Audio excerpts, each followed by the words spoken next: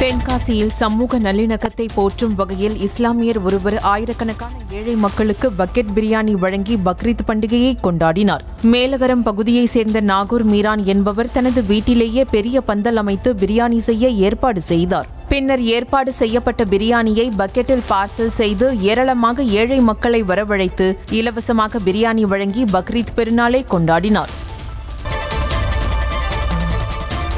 மதுரை பழங்காநத்தம் அருகே ராட்சத குழாய் பதிப்பதற்காக சாலையில் பள்ளம் தோண்டப்பட்டுள்ளதால் அங்கு கடும் போக்குவரத்து நெரிசல் ஏற்பட்டுள்ளது. பக்ரீத் பண்டிகை மற்றும் விடுமுறையை ஒட்டி மதுரையில் பொதுமக்கள் பலர் கோவில்களுக்கும் சுற்றுலா தலங்களுக்கும் சென்று வருகின்றனர். இந்நிலையில் பழங்காநத்தம் பகுதியில் குழாய் பதிக்கும் பணிகள் நடைபெறுவதால் கடும் போக்குவரத்து நெரிசல் ஏற்பட்டுள்ளது. சாலையில் வாகனங்கள் நெடுதூரம் அணிவகுத்து நின்றதால் வாகன ஓட்டிகள் கடும் அவதியடைந்தனர்.